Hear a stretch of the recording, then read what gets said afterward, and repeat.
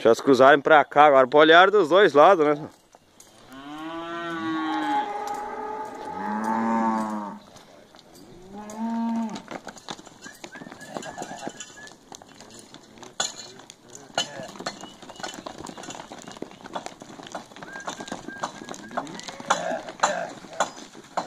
Yeah.